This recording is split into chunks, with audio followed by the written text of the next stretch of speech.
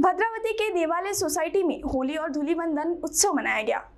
करीब दो वर्ष के कोरोना लॉकडाउन के बाद होली और धूली बंधन के रंग से पुरानी यादों को ताज़ा करते हुए भद्रावती के देवालय सोसाइटी में होली और रंग पंचमी उत्सव बड़े ही उत्साह के साथ मनाया गया। लॉकडाउन के लंबे समय के बाद यह अवसर पुरुष, महिला तथा नव युवकों को मिला जिसे नव युवकों ने होली के रंग में रंगकर आनंद और उत्साह मनाया।